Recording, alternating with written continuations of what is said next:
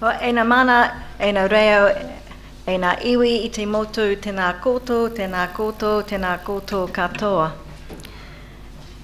As Ros says, I'm the Chief Executive of the Health Quality and Safety Commission, and it's my pleasure to uh, be here with you at least this morning um, uh, today.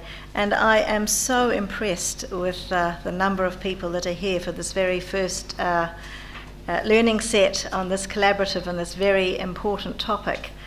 And I know that you've all been uh, working um, very hard on this for some time, for some years, in fact, many of you. Um, and with this re energized focus, we're all uh, aiming for zero within the next uh, 18 months, really, not long to go. Um, I'm feeling a bit kind of uh, jet lagged, I have to say. I just arrived in at 1 a.m. from Melbourne, having been at the uh, Quality Forum on uh, Quality and Safety in Healthcare, that's uh, an Asia Pacific forum that's run by uh, the BMJ, uh, the British Medical Journal, and IHI, the Institute of Health Improvement from Boston. And they run these forums uh, around the world. There's a big one that's in Europe that's been running for many years. They've started one in South America. They've had one in their own country in the USA for a long time, for more than 10 plus years. And I think it's the last three years they've been running them in the Asia Pacific region, first time in Australia. But I mention that because I, on the Monday I did a site visit to the Royal Children's Hospital, which, of those of you who have been visiting Melbourne will know is uh, the new hospital is only about five or six years old, and it's an amazingly architecturally designed, in, incredibly beautiful hospital, state of the art and totally digital. So, if you want to see a totally digital, paperless hospital, it's uh, the place to, to go and visit.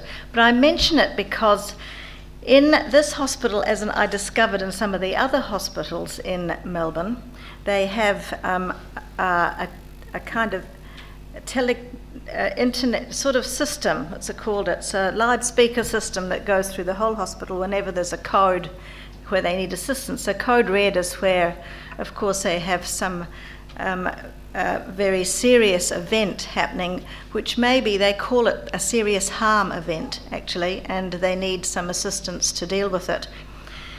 While we were sitting in the seminar room hearing about the hospital, there was a, a, a call for a code grey. Code grey. We all kind of looked a bit surprised, a code grey. Code grey. And the chief executive um, uh, said, That is when we need assistance for de escalating a serious aggressive event. So that will either be in our mental health um, area, children and young people mental health area, or it'll be in our um, accident and emergency, our uh, emergency um, department. Uh, so I thought that was very interesting that they call on the whole hospital when they when they have that kind of event happening. Um, in the education centre where we were, they have their simulation suite. So, like all hospitals, simulation suite. So they have the mannequin and you know all the other kind of things for simulating. They, you know, the Royal Children's Hospital is one of the best in the world. They do, you know, transplants and a lot of a lot of um, very complex. Uh, see complex and rare disorders and so on. So they have quite a lot of simulation for all kinds of things.